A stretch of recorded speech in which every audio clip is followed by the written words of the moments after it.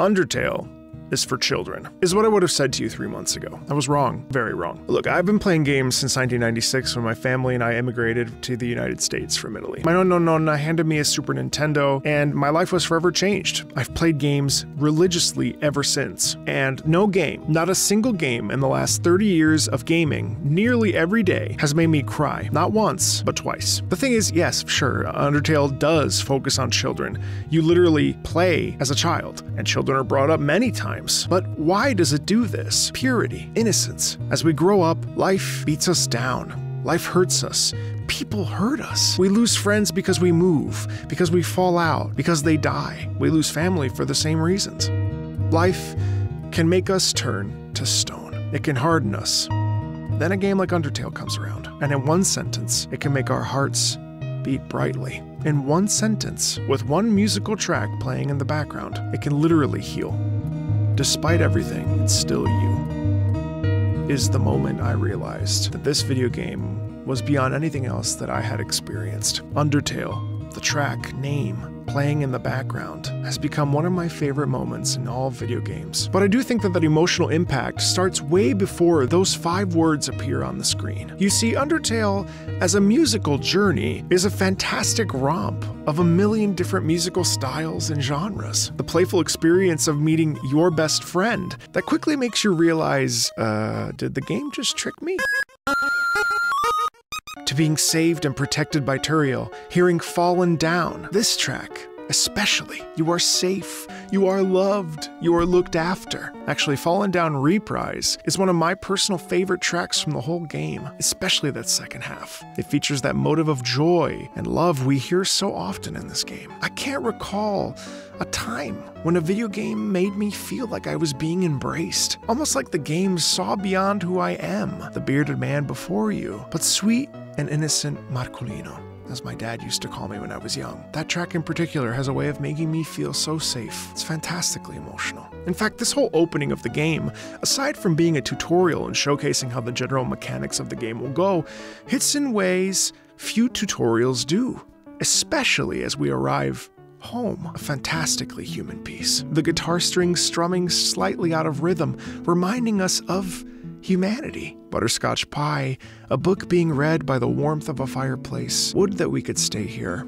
forever. In youth, there's often a desire to rush forward, to leave the comfortable walls that we might know. No, I need to get out of here, I need to be free. There's a rush to leave, to grow up. And in doing so, we speed through periods of our lives, not realizing that oftentimes those moments and those periods of our lives are, in fact, the good old days. I know I did. I couldn't wait to leave my parents' house behind.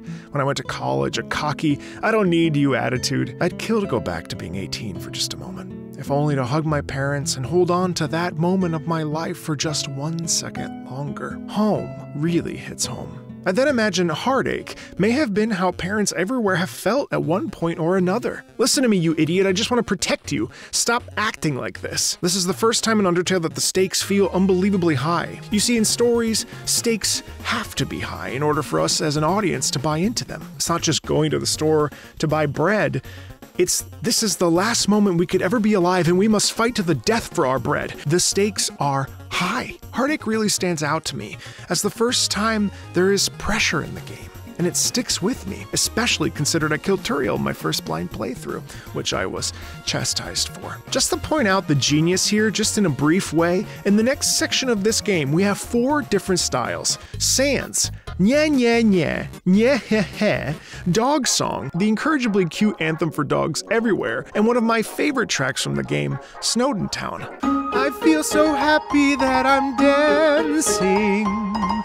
I love this music, it makes me so happy. Four different styles of music in what, the span of 20 minutes? This game has got to have the widest variety of styles in any video game I've ever heard. You just have to laugh. Speaking of favorite tracks from Undertale, here are mine, in no particular order. Dating Start, the most fantastic track imaginable. I literally play this and I swear to you, I always get the sudden urge to dance. It's fantastic in every sense. It's playful, bouncy, and it brings a smile to my face. In fact, I've listened to it before going on dates. Dummy, for the aggravated 1920 song that it is. Deranged, unflappable, ruthlessly confident. I picture enraged flappers in a 1920s speakeasy just mosh pitting, confusion everywhere. Temmie Village. Just kidding. the song makes me uncomfortable. It's definitely playful. That a cappella stuff is kind of charming in its own way, isn't it? Spear of Justice. I love the sharp rhythms, the focus, the determination of Undyne.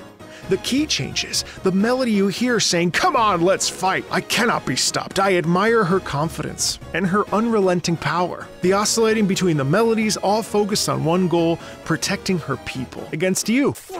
Mission failed. We'll get them next time. The absolute joy of hearing the bossa nova of Can You Really Call This a Hotel? I didn't receive a mint on my pillow, with its syncopations, and taking my favorite theme and turning it into something else entirely. This is silly. Playing with your food turned into music with Spider Dance, a rage inducing fight for me. Son of a b- Of course, oh, one true love. Because we need more opera in video games. Oh, my love, please run away. It's raining somewhere else. For the jazz club in a damp, dark city night, simple piano block chords that lead into a fantastic marimba and bass jazz trio thing. The constant feeling of a light rain as you walk along the sidewalk of a major city, trying not to get rain in your eye. Long Elevator, the most perfect song that could ever exist. There's my favorite track, Elevator, Undertale, for being the most emotional song I have ever heard in any video game ever. Not even Aerith's theme from Final Fantasy VII impacted me the way Undertale did. The most perfect song to remind me of who I am. The most perfect song to remind me that I too can be a child, and I don't need to harden my heart to the world. That being vulnerable is a gift that recognizing my flaws and choosing to love myself anyway is the absolute right thing for me to do. For reasons I can't even bear to express properly. Undertale reminds me of a time that I don't even remember. A time when I was free of worry and stress. It's a long time ago.